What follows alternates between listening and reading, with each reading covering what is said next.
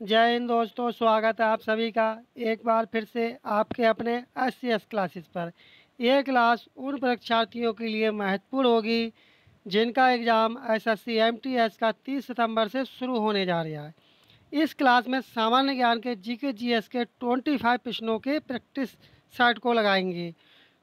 इसलिए आप क्लास को पूरा देखें, कहीं से भी स्किप ना करें, क्योंकि इस क्लास से आपको काफ़ी लाभ मिलने वाला है। इसलिए आप क्लास को पूरा देखें कैसे भी स्किप ना करें। बढ़ते हैं अपने पहले प्रश्न की तरफ़। पहला प्रश्न देखते हैं, क्या पूछा गया है? पहला प्रश्न है कि पुस्तक the immortals of Meluha dash द्वारा लिखी गई है। तब ये पुस्तक किसके द्वारा लिखी गई है? आप लोग भी साथ साथ कमेंट में इसका आंसर बताएँगे कि इसका सही जवाब क्या होगा। इसका सही जवाब होगा ये पुस्तक लिखी गई है अमीश त्रिपाठी के द्वारा। बी वाला ऑप्शन इसका सही आंसर होगा, क्योंकि पुस्तकों से संबंधित एक क्वेश्चन आपके क्वेश्चन पेपर में ज़रूर देखने के लिए मिलेगा। बढ़ते अपने नेक्स्ट क्वेश्चन की तरफ़। नेक्स्ट क्वेश्चन है कि निम्नलिखित में से कौन सा मिस यूनिवर्स 2021 की विजेता थी? तब ये कौन थी 2021 में कौन थी विजेता? ये थी एडलाइन कैस्टेलिनो। बी वाला ऑप्शन इसका सही जवाब था। लेकिन यदि आपसे पूछ लिया जाए कि 2024 में कौन थी तब आप इसका जवाब क्या देंगे? 2024 में थी एले हांद्रा मारिया, जो कि अर्जेंटीना की रहने वाली थी। ये आप ध्यान रखें एक्स्ट्रा पॉइंट जो आपको बताया जाए, वो भी नोट आप कर सकते हैं। बढ़ते हैं नेक्स्ट क्वेश्चन की तरफ़। अगला क्वेश्चन है कि निम्नलिखित में से कौन भारत की अंतिम जीवित सतीर नर्तक हैं, जिन्हें 2022 में पद्मश्री से सम्मानित किया गया? है ये प्रश्न इसलिए लिया गया क्योंकि ये इम्पोर्टेंट लगा, इसलिए इसे यहाँ पर लिया गया है। इस क्लास में आपके लिए इम्पोर्टेंट जी के जी के क्वेश्चंस कराए जाएँगे। इसलिए आप क्लास पर बने रहें क्लास को पूरा देखें। तब इसका करेक्ट आंसर क्या होगा? इसका करेक्ट आंसर होगा, क्या होगा? इसका होगा आर मुथु कन्नम्माल। डी वाला ऑप्शन इसका करेक्ट आंसर होगा। अगला प्रश्न है कि निम्नलिखित में से कौन सा रेशेदार फस फ़सल, जिसे फाइबर क्रॉप का उदाहरण है। तब ये किसका है? ये है सन हेम्प का। सी वाला ऑप्शन इसका करेक्ट आंसर होगा। नेक्स्ट क्वेश्चन है कि मेहरू त्रेसा ने सम्राट जहांगीर से डैश में शादी की थी। तब ये कब शादी की गई थी? ये शादी की थी 1611 में। ए वाला ऑप्शन इसका करेक्ट आंसर होगा। जो लोग इसका ऑप्शन ए बता रहे हैं 1611 वो बिल्कुल इसका सही जवाब बता रहे हैं। बढ़ते हैं। अगले प्रश्न की तरफ़, अगला प्रश्न है कि उस्ताद जाकिर हुसैन मुख्य रूप से किस वाद्य यंत्र से संबंधित थे? आपने देखा होगा कि जो S S C M T S की जो पी वाई की श्रृंखला अपने चैनल पर चल रही है, उसमें वाद्य यंत्र से संबंधित आपके लिए एक प्रश्न आपने ज़रूर देखा होगा, जो कि प्रीवियस ईयर में पूछे गए थे। इसलिए इस प्रश्न को यहाँ पर लिया गया ये महत्वपूर्ण लगा, इसलिए यहाँ पर ले लिया गया है। तब इसका करेक्ट आंसर क्या होगा? संतूर, बाँसुरी, तबला या हारमोनियम तब उस्ताद जाकिर हुसैन का मुख्य रूप से कौन सा वाद्य यंत्र था? ये था इनका तबला। ये क्या करते थे? ये बजाते थे तबला।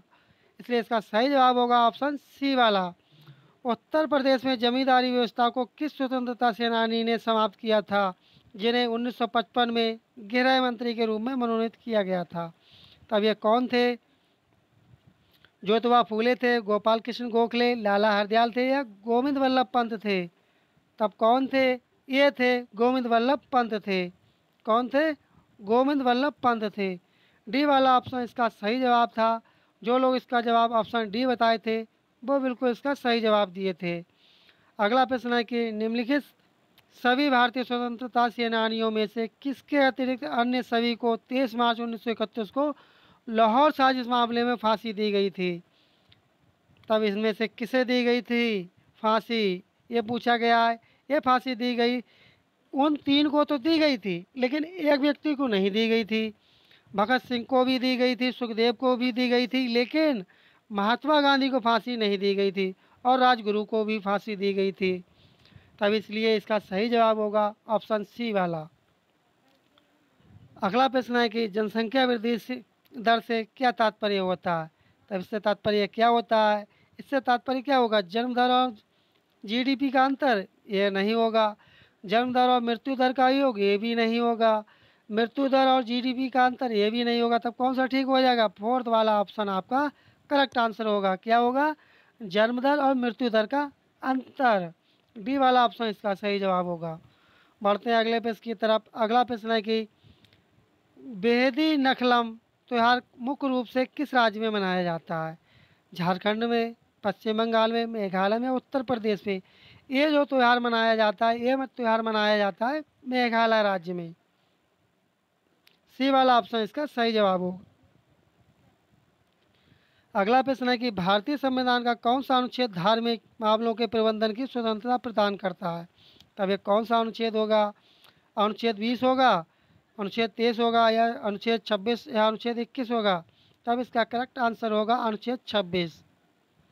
क्या है? अनुच्छेद छब्बीस में अनुच्छेद छब्बीस में धार्मिक मामलों के प्रबंधन प्रबंधन की स्वतंत्रता प्रदान करता है। कौन सा अनुच्छेद? अनुच्छेद ट्वेंटी सिक्स। बढ़ते हैं अपने अगले पेज की तरफ़। यदि आपको क्लास अच्छी लग रही हो और आप चैनल पर नए हो, अभी तक चैनल को सब्सक्राइब नहीं किए हो, चैनल को सब्सक्राइब कर दें। वीडियो को लाइक कर दें और नोटिफिकेशन बेल आइकन दबाना ना भूलें, जिससे आपको समय समय पर नोटिफिकेशन प्राप्त हो सके।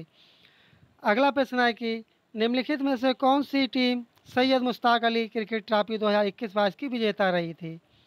तब इक्कीस बाईस की ट्रॉफी किसने जीती थी? ये जीती थी, किसने जीती थी? ये जीती थी तमिलनाडु ने। एक ट्रॉफी किसने जीती थी? तमिलनाडु में।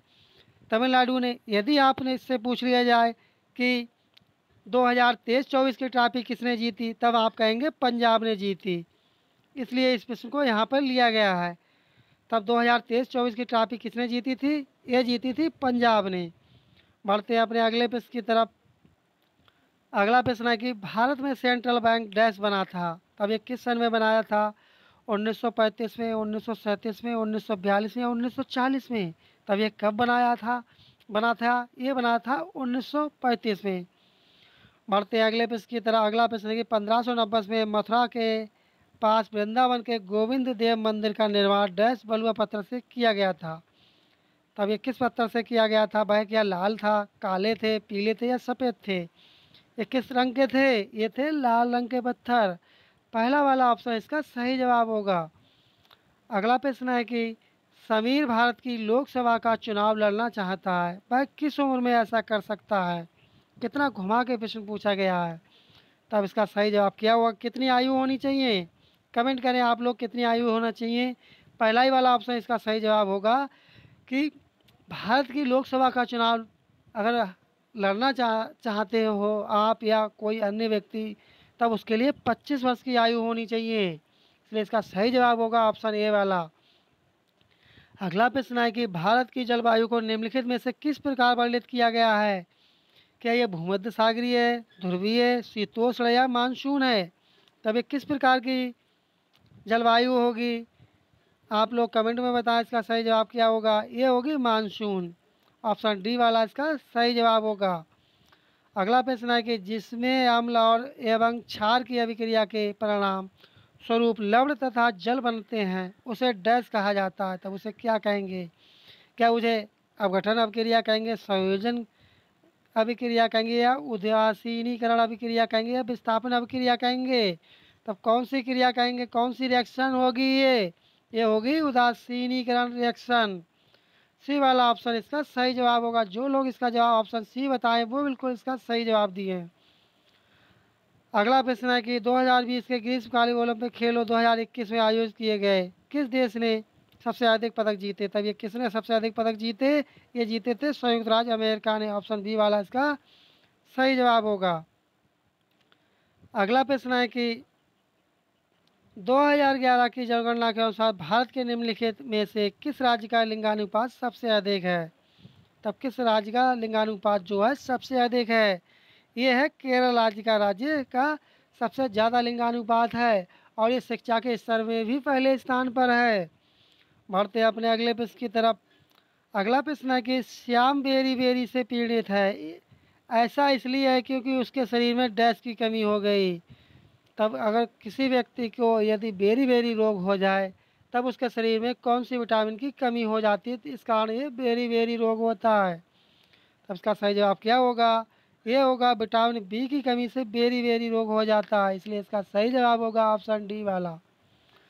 अगला प्रश्न है कि निम्नलिखित में से कौन पहला मौर्य शासक था जिसने शिलालेखों के माध्यम से लोगों तक अपना संदेश फैलाने का प्रयास किया था? तब यह कौन सा ये कौन सा शासक था? क्या ये अशोक थे वृद्धस थे, बिंदुसार थे या चंद्रगुप्त थे?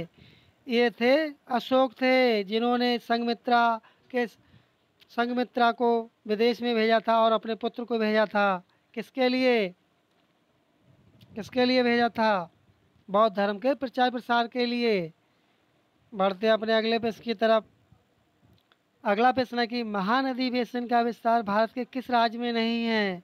नहीं पूछा गया कि किस राज्य में नहीं। उत्तर प्रदेश, झारखंड, छत्तीसगढ़ या उड़ीसा राज्य में? तो महानदी का बेसन किस क्षेत्र में, किस राज्य में नहीं है? ये पूछा गया है।